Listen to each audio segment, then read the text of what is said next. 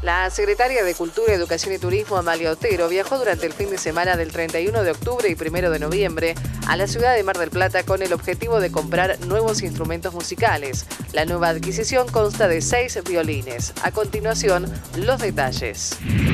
Muy contenta, feliz, te diría, porque este fin de semana, donde pude concurrir a la ciudad de Mar del Plata por el Festival Internacional de Cine, también perdón, pudimos adquirir los violines que nos habían donado el dinero, como han podido em, verse aquí en la cámara, se compraron eh, tres violines de tres cuartos, que son para los niños de 12 años en adelante o 10 años en adelante, uno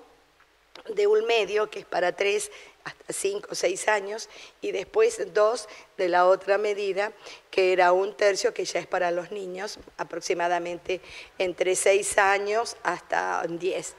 Eh, con lo cual este, dejamos aquí plantada la semilla para poder iniciar con las clases de violín el año próximo y lo más incipiente para la formación de la Orquesta Infanto Juvenil Maipuense. Son seis los violines, de acuerdo a las donaciones que se habían recibido, seis los violines que se han adquirido para la Municipalidad de Maipú para este proyecto. Sí, lo más próximo que tenemos es este fin de semana, el sábado 7 a las 21 horas, allí en el Teatro de la Sociedad Italiana, estaremos acompañando al profesor Laureano Blanes, que junto a las Dilagos Martínez presentan su CD Canciones con Amigos. Me parece que es una manera importante de acompañarlos, sabemos del trabajo y el esfuerzo que han puesto en la presentación de este material. Y posteriormente, el domingo 8, desde muy temprano, estaremos partiendo hacia la capital federal, al barrio de Mataderos, donde allí se organizan los festejos por el Día de la Tradición. El domingo 8 y tenemos un espacio a las 13 horas, tienen que estar ya preparados este, el grupo de danzas,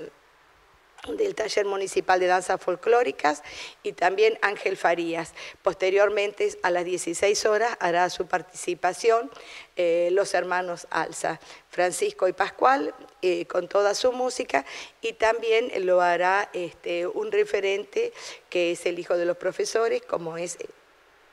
Segundo La Mensa, con el Malambo Surero. O sea que estaremos presentes, sabemos que es una importante, eh, me parece, presentación, dado eh, el nivel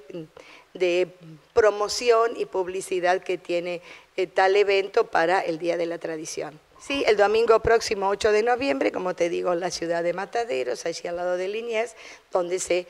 festeja el Día de la Tradición.